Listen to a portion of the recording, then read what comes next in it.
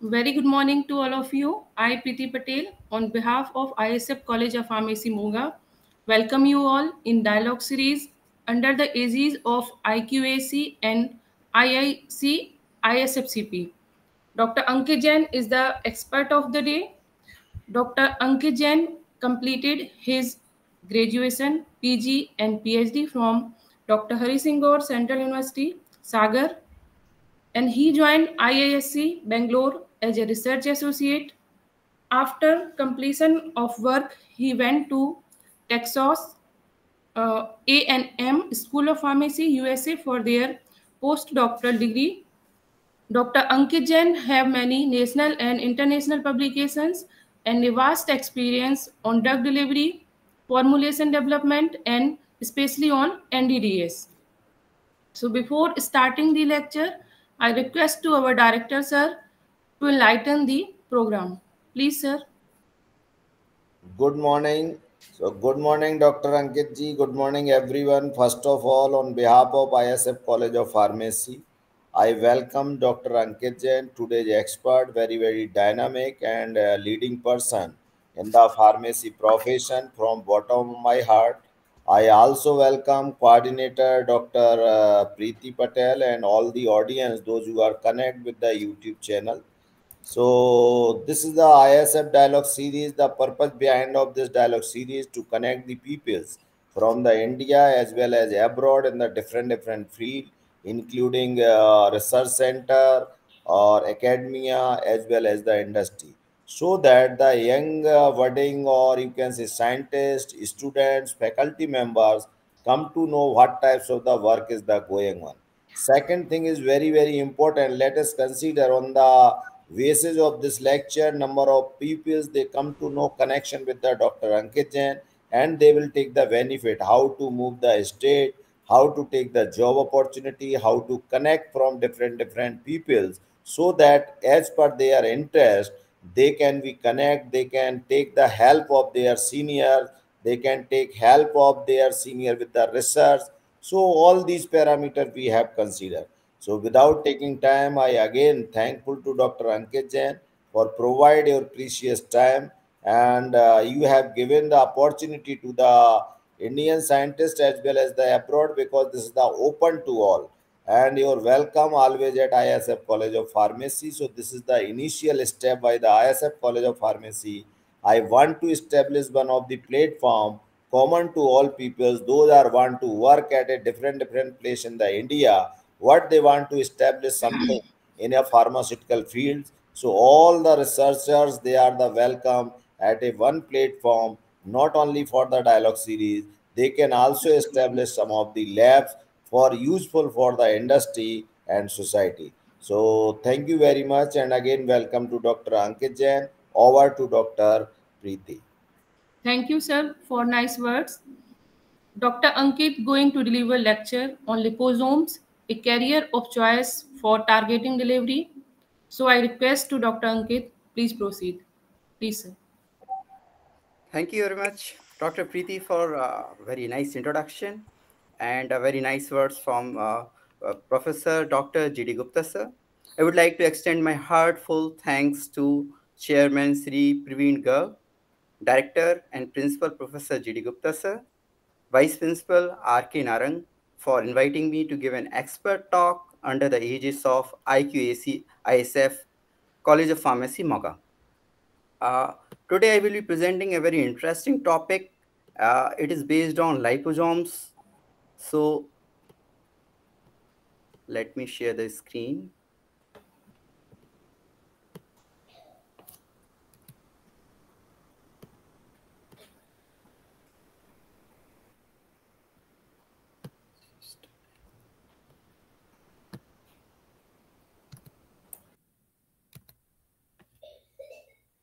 Is it visible?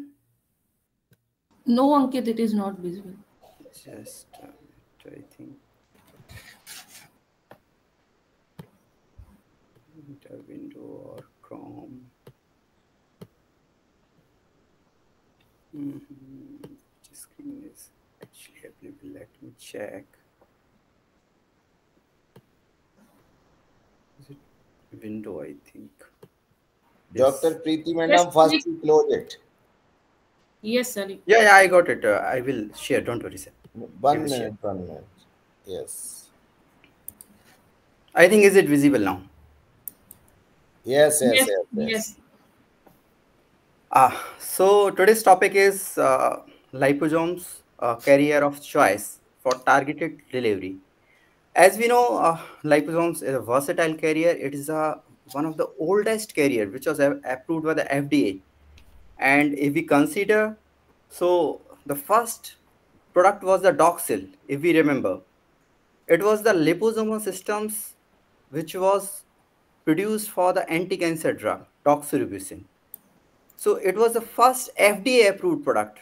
That was the nano carrier. So it changed the whole life of the cancer patients and it is still working.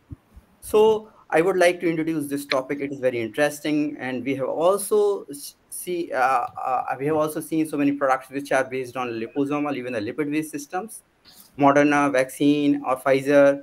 So we have seen so many products which are based on lipids. So let us see what are the recent advances which are uh, particularly focused on the targeted carrier systems. So let us see what are the major problems currently associated with the conventional drug delivery for systemic drug administration. We know there's uncontrolled biodistribution of pharmaceuticals throughout the body. This is the first problem which we face with the uh, administration of uh, nanocarriers or the conventional carriers. Other one is lack of drug carrier specific affinity towards a pathological site. As we know, we have to uh, we need to try to have a more accumulation of drug at a specific site of action or say the pathological site where the disease is actually occurring within the body. Next is it is necessity of a uh, to have a large total dose of a drug. You know we cannot administer a large dose. Otherwise it will be toxic and it is inconvenient to the patient for administration as well. Apart from this we face non-specific toxicity. It is because of uh, you know the carrier system is, starts binding to different parts of the body because it is not specific in binding to the specific tissue or the part of the body so it leads to so many adverse side effects so what do we need we need actually drug targeting drug targeting is the solution of all these problems so let us understand how do we you know how can we differentiate the conventional drug delivery and targeted delivery? We can see there are two mice. See, uh, both have tumor. So if when we administer conventional drug delivery system, what happens? It distributes throughout the body. But what happens in case of uh, targeted carrier systems? Let me turn on the pointer so that I can highlight. Yeah, so in case of targeted delivery system, we can see when the delivery system is administered through intended route, route of administration, it reaches maximally to the target site. Here in the case, it is tumor. So this is the basic difference through which we can understand what is targeted drug delivery. Let us look back to the background of you know targeting. We can uh, we have uh, you know heard about the magic bullet concept, which was questioned by the Paul Ehrlich in 1900 so what are the drugs would be targeted by virtue of groups having affinity to specific cells? But these are the drugs are not specific. Drugs are not specific, but they can interact with the specific cells. So how to actually interact the drugs to reach to a specific site within the body within the cell? Next part is a ligand would confer specificity on a specific reagent. So there will be two parts he proposed. First is drug, another is ligand. Ligand is nothing but it is a pioneering moiety which can guide the drug to a specific site of the body. So based on this conception, which was given by Magic, uh, Magic Bullet concept, given by the Paul Ehrlich in 1900. So two components were proposed. First one recognizes and binds the target. That is that we call the ligand. Second one provides a therapeutic action at the target site. That is the drug. But is it sufficient?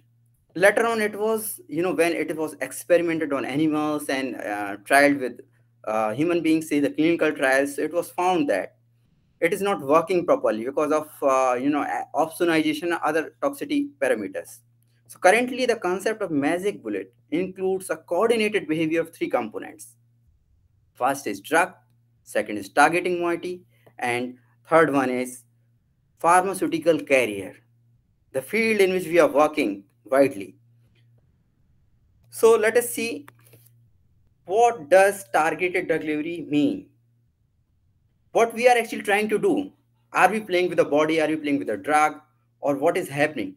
So it is a method of delivering drug preferentially. Preferentially, it doesn't, it means we are trying to accumulate the drug to the target site maximally. There's nothing perfect concept, nothing ideal. So we are trying to, uh, you know, target the right place, try to uh, deliver the drug at the right time with the right dose, of course, for the right period of time. So these three, four parameters are very crucial to make a delivery system targeted to a specific site of the body. Coming to the next characteristics. So what are the ideal drug carrier characteristics? If we are if we want to design a carrier system, it must be able to cross the anatomical barriers. It depends on the route of administration, uh, whether we are using uh, topical or say the intravenous, so it depends. Next is it must be recognized selectively by the target cells. It should ha have some affinity to the target cells. Next is what we need to have, it should be specific, uh, it should have some specificity to bind with the ligand so that it can be modified. So what do we do? We tether the ligands, which should be stable enough in plasma, otherwise it will not reach to the target site. It should be stable in interstitial or other biofluids. The ligand or the carrier system, both, should be non-toxic, non-immunogenic, and biodegradable. It is very crucial parameter. Most of the carrier systems which are synthetic, uh, we have seen a lot of uh, polymers have been produced synthetically in the lab but these are not biodegradable. So we cannot play with the body. Next is after recognition, what will happen with the carrier system? It will internalize and the carrier system should release the drug. If we make a bonding of drug with the carrier system or if it is embedded within the system, if it is not releasing at the target site, what will happen? The uh, biological you know manifestations will be like that pharmacological effects will not elicit from the carrier system as well as the drug let us see what are the widely explored nanocarriers. There are a number of nanocarriers, but still liposomes is at the first place. These carriers may be virus-like. We have seen micellar systems. We, we have seen the carbon nanotubes, which may be in different shapes or say the um, multi-walled, single-walled.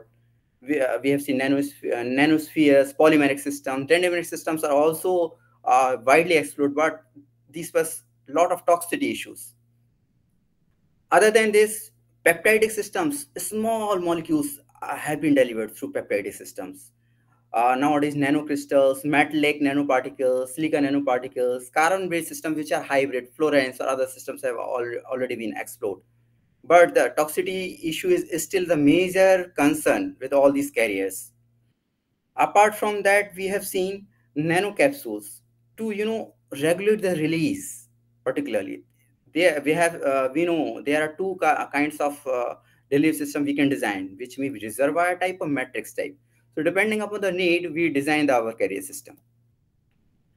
So what could be the possible drug targets? There are four major drug targets. First is receptors. They may be agonist or antagonist. Uh, other is ion channels. Third one is enzymes. And fourth is transporters. In case of targeting actually whenever we do targeting it should have some preferential accumulation.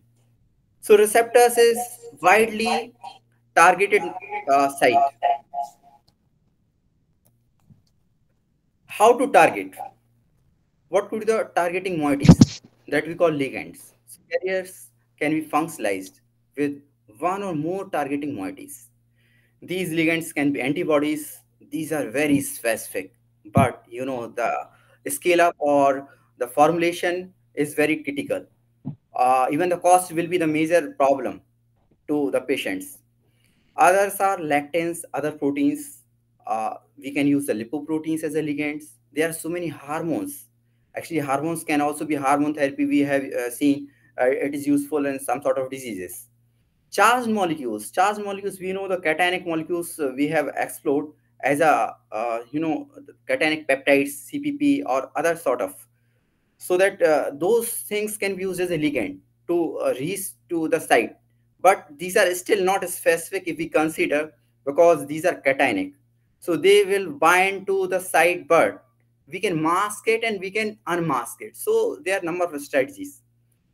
Other than this, polysaccharides or low molecular weight ligands. Low molecular weight ligand, say the folic acid is a classical example. In case of polysaccharides, we have seen HA, hyaluronic acid. Okay, so let us understand what are the four levels of drug targeting. First level is organ compartmentalization. It means we are targeting the organ. Let us say it is, uh, for say example, it is uh, liver. Second level is cellular targeting. Now we are just, you know, going within the uh, organ. So we are, we have reached to a higher level. So we are uh, actually targeting the specific cells within the organ. These are tumor cells. Third level is organellar now we are again you know advancing the targeting within the cell so it is subcellular targeting we also call so we are targeting here in case of mitochondria now we i have seen so many you know researches so they report uh, advanced targeting. So it is fourth level. It is molecular targeting. Now we are targeting something within the organelle. So selectively we are targeting a molecular site. It is f1 subunit of mitochondria. So targeting level has reached to a you know unexpected level. But the problem is higher the level of targeting, it brings the more safe and more efficacious drug delivery. However, it becomes more complicated because we have to design the carrier system, which will be complex and it will be difficult to scale up. What would a possible ligand or uh, say if we, we are considering the ligands, it means to which cell these are specific we are considering parenchymal liver cells. So the specific cell-specific ligands, these can be lactose, uh, sorry, galactose, polymeric IgA antibodies, cholesterol, acetyl VLDL or LDL. In case of kapha cells, we can use uh, mannose, fucose, galactose, LDL oxidized as a ligand. If we want to target the liver endothelial cells, in that case, we can use the mannose acetylated LDL. If you want to target the leukocytes, we can use the chemotactic peptide or complement C3b. So depending upon the need or the disease condition or the requirement or the route of administration, dose or dosing regimen, we have to inculcate so many parameters on a single page and we have to design our carrier system. Now, moving to the main topic that uh, I'm interested to, you know, uh, discuss with you all. This is liposomes. It is one of the favorite topic of mine. It is a model nanocarrier. See how it is actually produced in the laboratory as well as uh, in the industries. So we generally produce, you know, the thin stacks of dry lipid film. And these films are dried uh, using rotavapor, some sort of other instruments. There are so many processes. So these films are hydrated uh, to, we can see how when we hydrate these cells, the pinching off process occurs. Pinching off means the lipid layers are actually, you know, start bulging out and the aqueous media penetrates within the cells, uh, within the layers. So those layers starts, you know, swelling. So in simple terms, it is a swelling of lipids. Next is we try to, you know, have a, some self-assembling bodies. So these are assembled when we agitated or perturbed. So initially MLVs, MLVs are nothing but the multicentric uh, lamellar vesicles. So there will be, you know, so many uh, layers within which, concentric layers within which the aqueous media will be entrapped.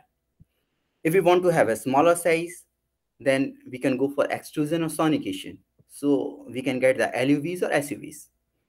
Let us see what, what is the orientation of these lipids as we consider uh, the structural parts, so lipids are nothing but these have tails or heads. So depending upon the size or their orientation, uh, they take the shape in uh, media when we disperse it.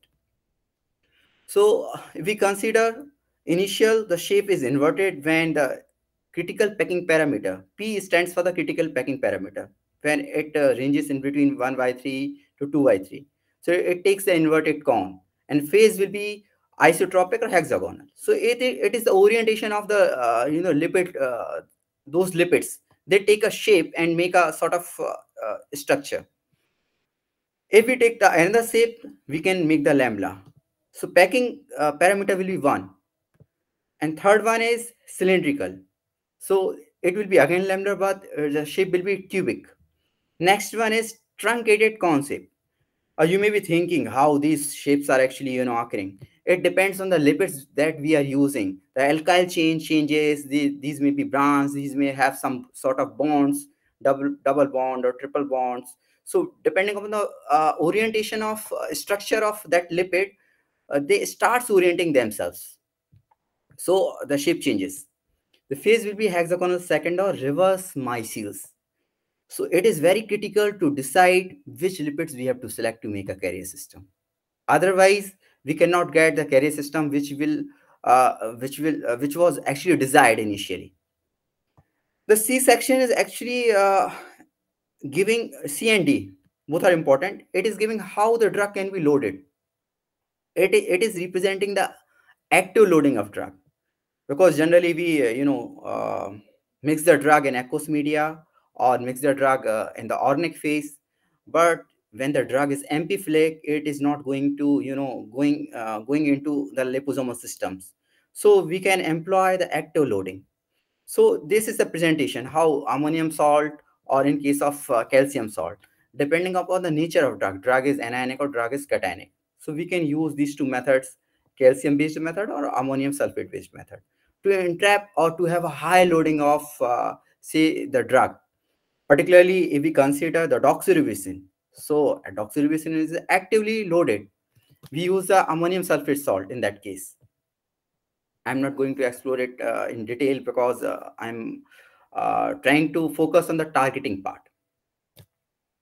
Next is if we want to you know make all these carriers. Nowadays it is very crucial. We cannot just keep on you know using the variables or say the factors at a laboratory level which cannot be scaled up at industrial level so industry demands some sort of computerized softwares which can be uh, help in precise and accurate production reproduction of the batches so there are there are a number of designs so uh, if we consider factorial designs, these all are uh, basically factorial designs based on, uh, uh say, the mathematical models. Those may be linear, cubic, or uh, quadrilateral. So it depends how we are, you know, putting our parameters into that software, and we optimize it to have a reproducibility of data in a very narrow range.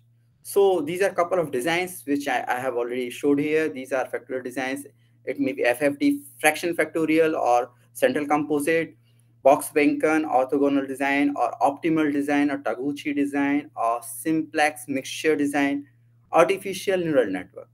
The question is which design is suitable?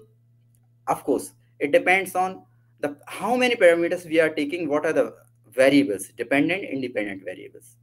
So process parameters, product parameters, we have to consider so many things. I have, uh, uh, I'm showing, you know, the wagon wheel. What could be the variables, formulation variables and process variables? If we look at the process variables, so these can be rate of filtration, hydration parameters. We have to, you know, uh, manage rotation. We have to manage the sonication, what time, how long we are sonicating, at what frequency. Uh, and it also depends what kind of system we want to make it may be thermosensitive, it may be pH sensitive. Depending upon the condition, we have to manage the process conditions. Otherwise, we will lose our carrier system. We will not get the final product. These systems can be pegylated. They can be made targeted. Targeting needs some sort of anchoring with a specific binding moiety that we call ligand. Let us move to the next section. How? How all these, you know, QBD, quality by design uh, workflow goes. so it is very critical and uh, sometimes you know we get the phobia with all these variables but uh, it is not a big task or big deal if we understand what are the variables how these are interconnected. So initially we have so many variables then we need to identify them select them in a specific manner then we make a, a relation correlation between them and then we try to hit a you know bullseye bullseye means what are our desired goals. So it is a fishbone, uh, fishbone diagram, which is showing how we can get highest encapsulation efficiency with minimal size and stable formulation. CQA is nothing but the critical quality attributes. So there are so many things. Say instrumentation, reliability we have to consider how we are using the instrument are these you know calibrated are we using the proper instruments which are suitable to make a system uh, sustainable or the precise results will come out. Other parameters may be analytical method or the formulation parameters we consider we want to have a specific size. Sometimes we cannot go less than 1000 nanometer. Otherwise, it will be, it will be you know expelled out of the body through kidney excretion. So we have to regulate the size as well. Surface charge is crucial. If we take the cationic material, it will be toxic, but still we we can take the cationic with balancing with uh, some peptides, polymers, we can mask the charge. There are so many things with the targeting. We have to consider the lipid concentration if we are giving something. Anything if we, you know, dump into the body. It may be water as well. It become toxic. So targeting is a way to figure out what are our needs. Are we really able to design and establish those needs or converting those needs into our uh, envisaged uh, goals. So there are so many taxes nowadays. We are very advanced in computerization so we can consider quality by design we can consider some sort of docking. Uh, we have so many uh, you know uh, chemistry tools. So if we all together consider all these things we can uh, come up with a target carrier liposomal systems. We have seen in covid time very in a very short period we have seen a, a, fast approval. How it could come? It is because of the technology. So let us move to the uh, next section because uh, you know it is very complicated. Uh, if i start explaining it will take again one more hour. What are the modifiable capabilities in liposomes? Let us consider it can be you know pegylated. Pegylated is intended pegylation is in, intended for stealing the charge or make it long circulatory. Or we can increase the blood span time of that carrier system or the drug if we are directly, you know, pegylating the drug. So we can also tether, we can also anchor something to the PEG so that it will have, you know, multiple effects. It will be having long circulatory nature as well as it will lead to the target site uh, in a desired concentration. But nowadays we are facing the problem with PEG as well. We have seen, you know, the immunization, uh, antibody generation. Uh, it is very specific term that we call accelerated blood clearance. It happens with the liposomal systems on repeated dosing. So if we want to avoid this, uh, we can, you know, use some sort of detachable uh, or depegylation concept. So we can make some sort of bonds between the ligand and PEG so it will be long circulatory, but when it reaches to a specific site of the body where the carrier system desired to reach, so the PEG chains will removed in within the cell, not outside the cell. So there are ways uh, we can make it some sort of stimuli sensitive. That is the next section. So uh, we can make it transitional changes so that in response to a specific stimuli, it may be internal, it, it may be you know executed from the outside. If we consider the internal, the pH is, you know, the acidic within the cells. We can uh, use some sort of pH sensitive carrier uh, liposomal system. Sometimes temperature is also high at a pathological site because of, uh, we know the hypothermia occurs at the pathological site. And redox potential GSH base system or say the other moieties we can uh, employ which have some redox sensitivity. So system will be, you know, sensitive to these stimuli and what will happen? It will give a new feature to the system and the PEG will be removed or the system will try to uh, next step that we call the endosomal escape. So endosomal sequestration is the and the ratio. So I will try to explain uh, another slides. Ah, this is the presentation. Uh, you know how these stimuli sensitive system works. So whenever we administer the system, the system should be physiologically stable. But when they get some sort of stimuli, they should start, you know, executing their feature. It may be some sort of pH, temperature, external ultrasound. It depends how we, we have designed it. So based on the stimuli responsiveness, the system, it starts destabilizing uh, at the at a specific it, it may be extracellular, it may be intracellular. So the system will the entrapped drug, it will immediately released, leading to uh, you know, the pharmacological actions thereby. This is the schematic presentation, how the targeting actually occurs. When we tether a ligand to a carrier system, say the liposomal system, it will be endocytosized if it is receptor-mediated endocytosis. So it will be guided to an endosomal cascade. So early in early endosome, the acidic pH starts, you know, getting lower and lower. So in the late endosome, the carrier system will be digested by the you know esterases, hydrolases, or other. So this is the major hurdle with the target carrier systems. So we need to have some sort of modification in the carrier system so that it can bypass the endosomes. So the maximal drug will be released in the cytosol and it will be guided to the desired site. Here in the case, it is leading to the nucleus or if we you know target it to uh, some sort of mitochondria. So it depends the uh, action of the drug whether it is specific to the nuclei or to the dna or specific to the mitochondria. Based on the pharmacological actions uh, we will have a high efficacy of the system.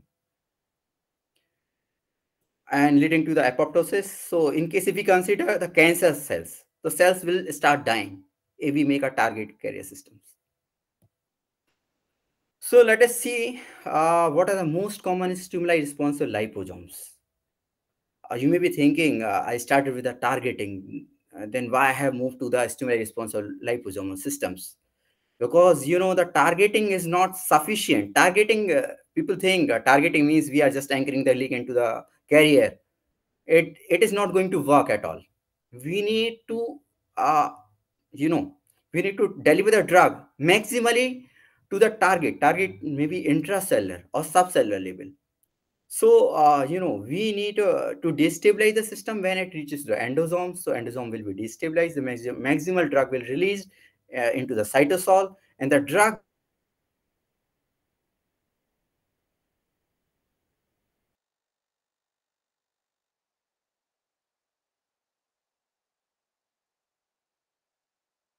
let's see what are the different types of liposomes it may be enzyme responsive.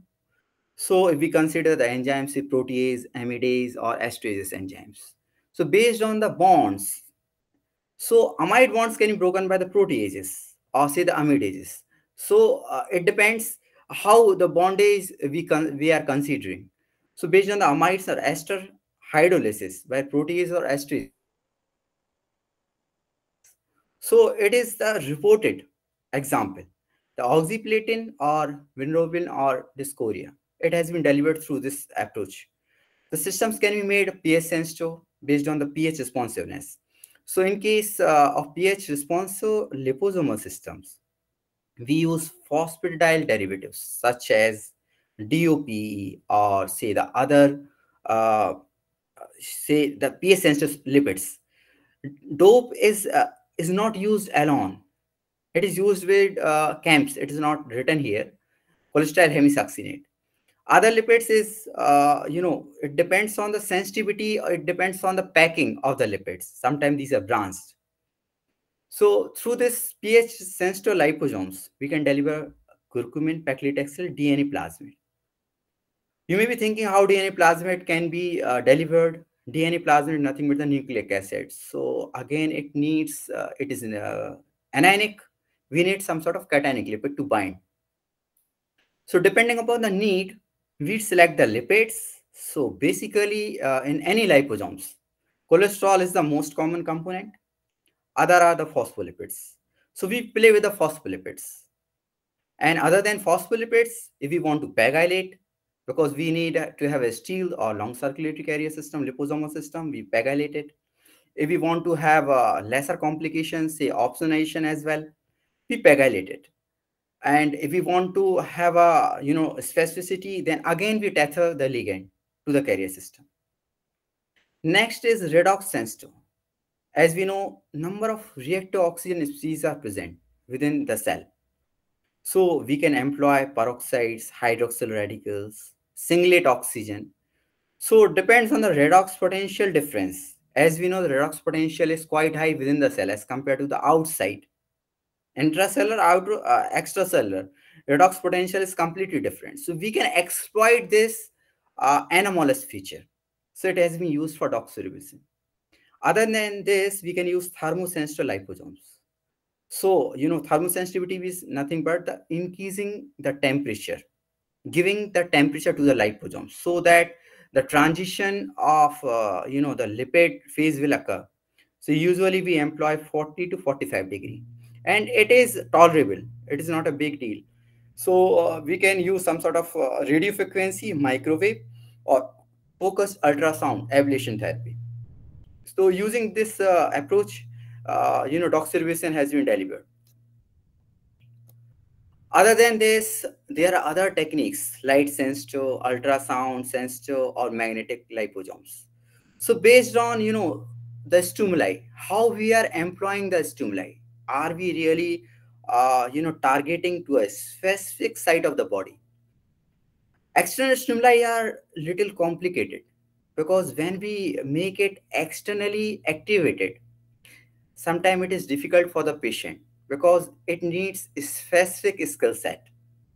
When we make it intracellularly or something, uh, a stimuli which is which is already existing within the cell, see the pH change or redox change. So it becomes by virtue of the pathological side. So external stimuli is a little complicated. So uh, sometimes it is avoided. But you know we do not know when the techniques are advancing. We can still employ. And uh, so many countries i have seen americans uh, chinese japanese uh, even the south koreans they are doing very well in externally stimuli sensitive liposomal systems moving to the next topic uh, say uh, how many clinically uh, liposomes have been uh, explored? I have already told Doxil is the mildest one. It has nothing but the doxorubicin. It has been indicated for uh, ovarian cancer, breast cancer, Kaposi sarcoma. Apart from that, donoxom, it, uh, it has daunorubicin. It has been indicated for AIDS-related Kaposi sarcoma. Other is MEPACT. It has mefamotide. It is used or indicated for high-grade resectable, retectable, non-metastatic osteosarcoma. It is very specific. Sometimes, you know, when the conditions are non-manageable, these are not, uh, this, uh, as we consider for the any therapy, we generally go for the primary first line of therapy. If it is not working, when we then we move to the higher second level, third level, uh, when it becomes difficult to manage, then we uh, try to have a targeted carrier system because target systems are more efficacious and safest. But the problem is these are not cheap, these are not affordable at all. That's why we are working on that area. We are trying to have something which may be affordable to common people. So we, we are actually working on that area with the lipids which are uh, cost effective which are biodegradable, which are uh, biomimetic, particularly which are matching with the biological membranes, so that liposomes places at the first position. If we consider the FDA approval, 90% products are approved by the FDA, which are liposomal. Moving to the next, it is Morcuvo. It has vincristine. So it is indicated for acute lymphoblastic leukemia. Other is Vioxx. Uh, next is Riposide. Next is Lipusu. So there are so many systems. Even for paclitaxel, uh, we have seen the Abraxane polymeric system. Uh, if we consider the uh, Abraxane and if we consider Lipusu, both works fine parallelly. So uh, if we consider liposomal systems, these are more acceptable as compared to other carrier systems. So I would like to have you know couple of take-home messages so that whenever students will be or the readers will be going through the slides, what they will consider out of this uh, presentation. So we need, we need to try to improve the existing conventional approaches. As we know, the drug can be delivered in different ways, but what, what do we need to improve? So we need to improve the existing conventional approaches to overcome that we say non-selective uptake. As you know, each carrier has its own advantages and disadvantages. So choose a suitable one. Some we can make nanoparticle, we can make uh, liposomes, we can make anything sometimes we think uh, yeah what is drug delivery it is just uh, you know taking the drug and uh, encapsulating the drug into a carrier system it is not as simple as we say because when it is administered or it is translated from in vitro to ex vivo ex vivo to uh, say the animal model we, we we will see the drastic change.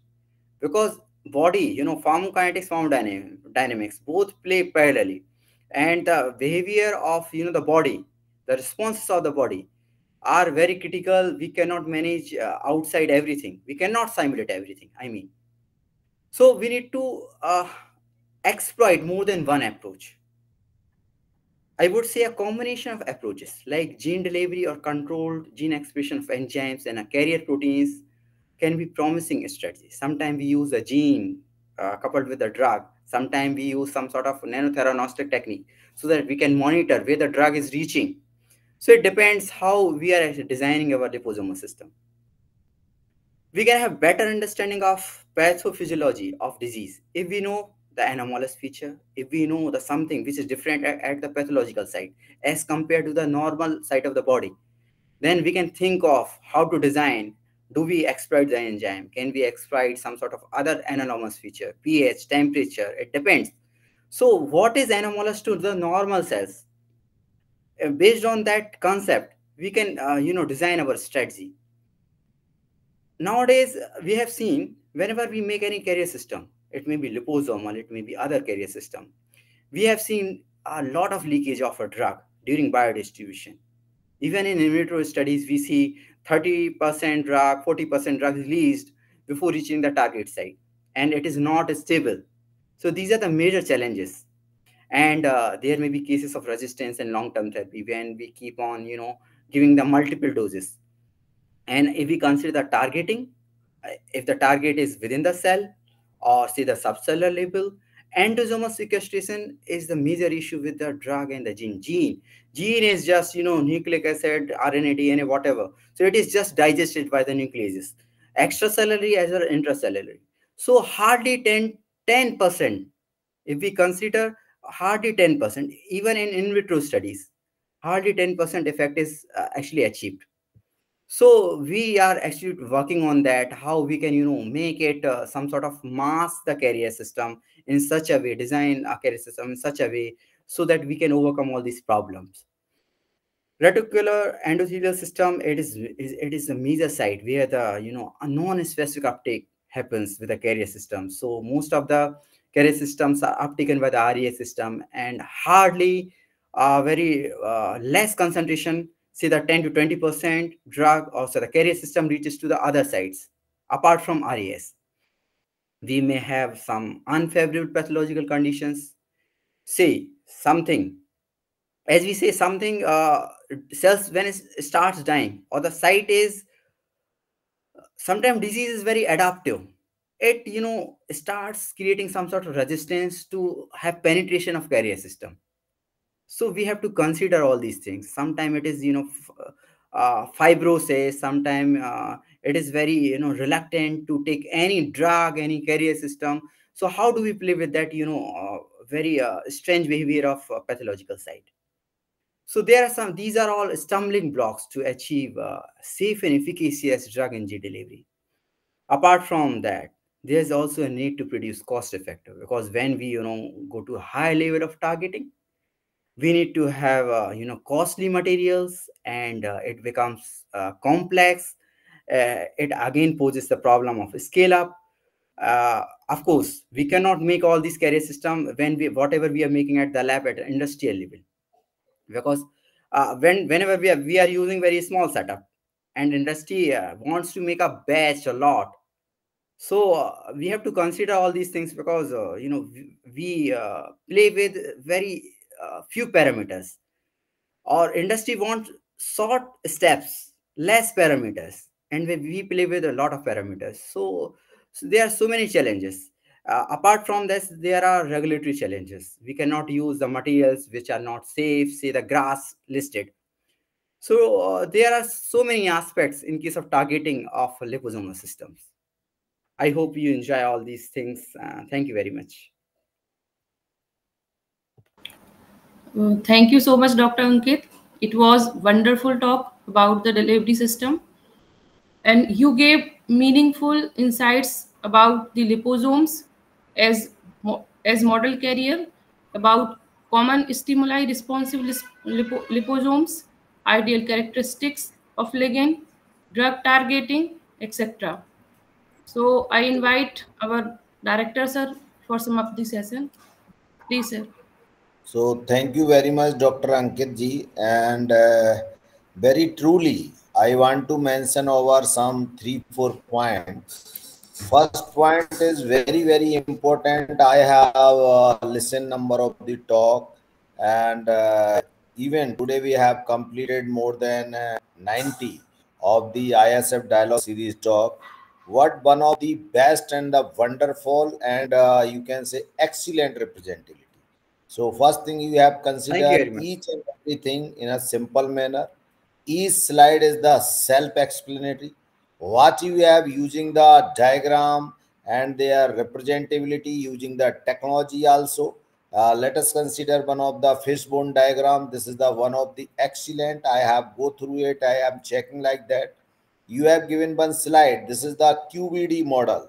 How to select. So all at a time you have given in the side on the basis of the system uh, consider accordingly. So each and everything you have given one of the schematic diagram.